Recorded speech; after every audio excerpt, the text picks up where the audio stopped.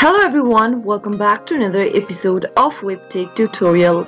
In today's video, I'm going to show you how to log in to Amazon A to Z employee account. Watch the video till the end and don't forget to subscribe to our channel if you've not yet. Press the notification bell so that you'll never miss another upcoming upload from us. Open up a web browser of your choice and in the web address bar type in A to Z login.amazon.work and press enter on your keyboard. Soon after you do that, you'll end up in this login portal. Go ahead and enter your Amazon login information as an employee and click on the login button. Now, it'll ask you to enter your password.